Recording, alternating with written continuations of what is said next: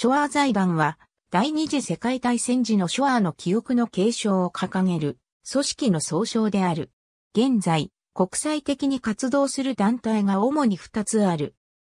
1994年に創設者のスティーブン・スピルバーグは非営利団体の南カリフォルニア大学財団映像歴史教育研究所はナショナルジオグラフィック社が進めたゲノムプロジェクトに賛同し、同社及び IBM と提携して2005年から5年間で20万検体の DNA 解析を行う計画に参加。アメリカで人種の枠を超え DNA 利用による先祖探しのブームに先弁をつけた。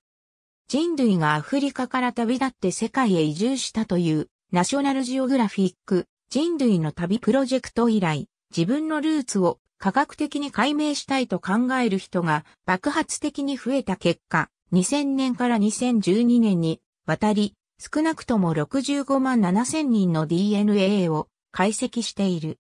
また研究室の DNA 解析研究は単一の学術賞として最も競争が激しいことで知られるアメリカ国立衛生研究所助成金受給を史上初めてアリゾナ州にもたらした。